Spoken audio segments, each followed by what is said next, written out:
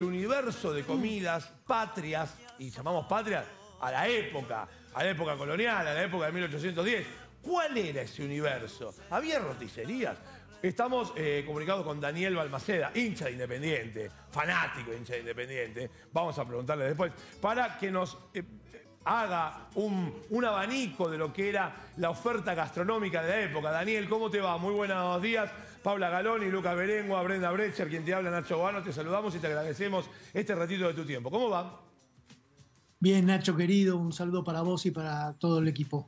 Bueno, a ver, vayamos eh, eh, por la oferta gastronómica, como me lo quieras poner, ¿no? Eh, el- el- a ver, voy a hacer una pregunta un poco eh, sectaria, pero el acceso al fuego era general, se cocinaba al fuego, se asaba, ¿cómo eran las casas en donde tenían un poco más, eran un poquito más pudientes, en las casas nobles, porque recordemos que era un virreinato. ¿Cómo, cómo era la oferta gastronómica? Bueno, como vos decís, es muy interesante el dato del fuego, porque en general las cocinas siempre estaban lejos del, del- del comedor. Por ejemplo, Mariquita Sánchez de Thompson tenía una casa en la calle Florida. Sí.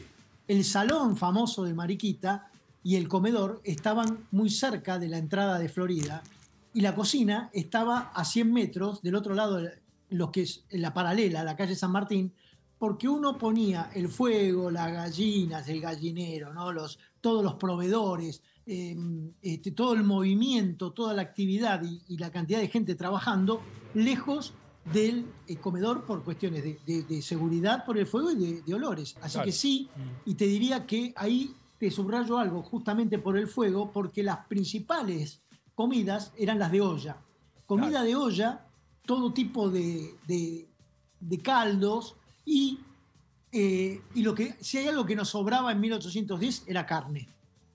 Ca- Y, eh, perdón, el acceso al fuego y el acceso al agua también, porque imagino que había, che, hoy qué comemos, guis, eh, sopa, y había que ir a buscar agua al río. No, Bueno, la- la- las casas más este, acomodadas ya tenían aljibe. Ya tenían aljibe, Y si vos claro. no tenías aljibe, le ibas a pedir al vecino. Es muy, muy, muy Ah, clásico que lo- el, el vecino que tenía aljibe y se tenía que bancar que todos le fueran a, a pedir. Esa agua estaba muy bien.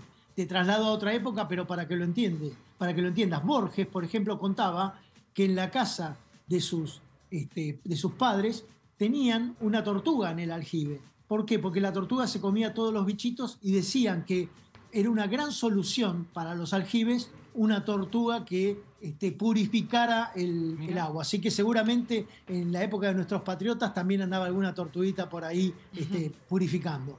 Eh, Daniel, me hablaba que lo, que lo que sobraba era carne. Vegetales y pastas. No. No. bueno, en cuanto a vegetales, lo que se comía era un zapallo, eran todo tipo de vegetales cocidos. Vos sabés que la costumbre de que nosotros comamos, por ejemplo, una mixta, una Sí. ensalada mixta, eso, eso es de 1930, cua- 1940 recién. Que se lo copiamos a, a- a las- a los astros de Hollywood que decían "Este, es muy sano comer eh, eh, la, la verdura este, cruda y entonces nosotros rápidamente para estar co- como ellos este, adoptamos eso. Pero en, la- en 1810 no, no. Mu- mucho zapallo al rescoldo, eso sí. Claro. Y vos preguntaste por las pastas, no, la pasta llegó con la inmigración. A partir de 1870, 1880 y con la llegada de algunos cocineros que entre sus platos internacionales preparaban pastas y ahí tengo la diferenciación. Mientras la gente muy humilde en la boca, por supuesto, consumía pastas, en los restaurantes de más categoría también se ofrecía pasta como uno de los platos exclusivos. Claro, como exótico. Eh, a ver, eh, tubérculos, digo, porque dijiste zapallo, imagino papa, batata. Si no, era como una Por- dieta, una dieta eh, casi cet- cetónica.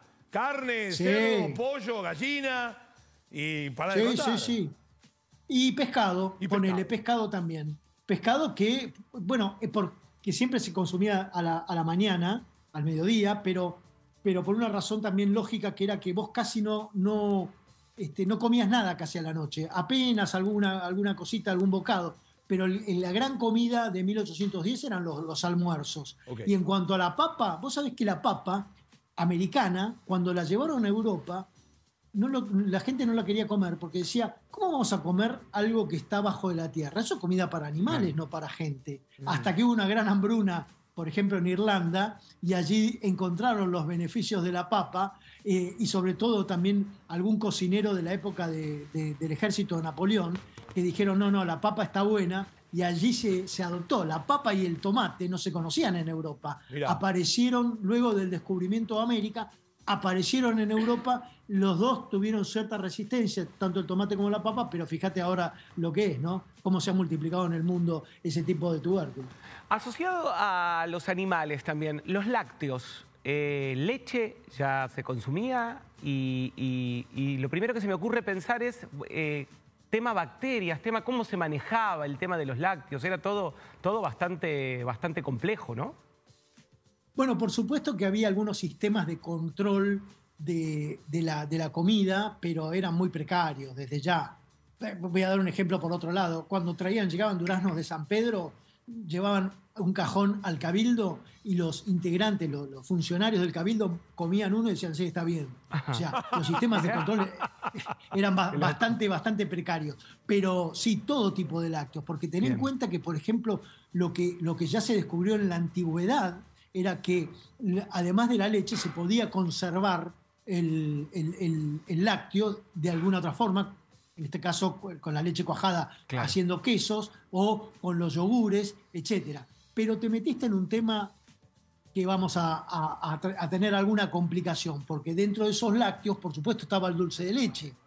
claro. Ahora, el dulce de leche se creó en la Argentina el 24 de junio, una fecha que, bueno, Nacho sabe que el 24 claro. de junio no es un día cualquiera, pero Riquelme, el 24 Messi, eh, Fangio, Fangio, este, pero Rodrigo. pero 20 Rodrigo, sí señor. 24 de junio de 1829. ¿Se creó el dulce leche en, en una quinta, de- en un campo de rosas?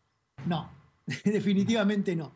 Ya con su- el dulce leche se consumía mucho antes que, en esa fecha, y no solo eso, sino que en cierta oportunidad, cuando Victoria Ocampo recibió a un director de, de orquesta ruso, este, le hizo probar, orgullosa, del dulce de leche argentino, y el hombre dijo, pero esto es Kajmar, lo que comemos en, en Rusia de, de- Claro. de- de- de años, de, de miles de años. Este, no, el dulce de leche se creó en Indochina, en, la- en lo que sería la, en, eh, Vietnam, en la península, digamos, de esa que, que- que tenemos en Daniel, Asia. nos está rompiendo Ah, el corazón.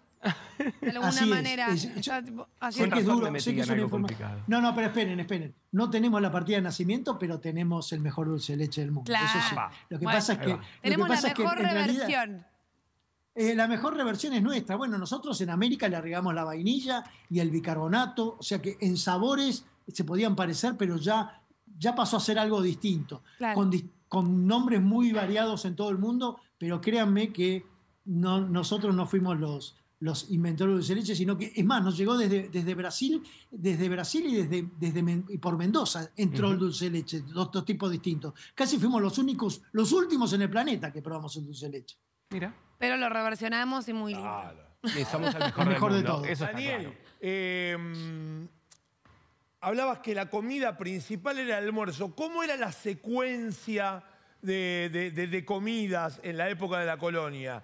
¿Existía la idea del desayuno, el almuerzo, existía la merienda y esa cuestión que decías, un bocado de cena? ¿Cómo era la secuencia?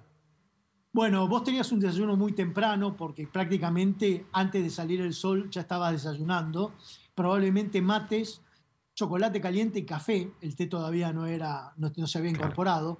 El café en general se tomaba más en los cafés, precisamente, en donde vos llegabas y tenías la taza dada vuelta, llegaba, este, venía el hombre con, el- con el- la jarra de café, dabas vuelta a la taza, te ponías la- el, el azúcar y después te, te servía el café hasta este, que desbordara la taza. Así se tomaba café, pero el, el gran consumo en aquel tiempo era el mate. De hecho, no vamos a hablar de 1810, pero en 1605 en Buenos Aires se prohibió el mate. Mirá. Porque decía Hernandarias, que era el gobernador, que la gente eh, en vez de trabajar se distraía y tomaba mate.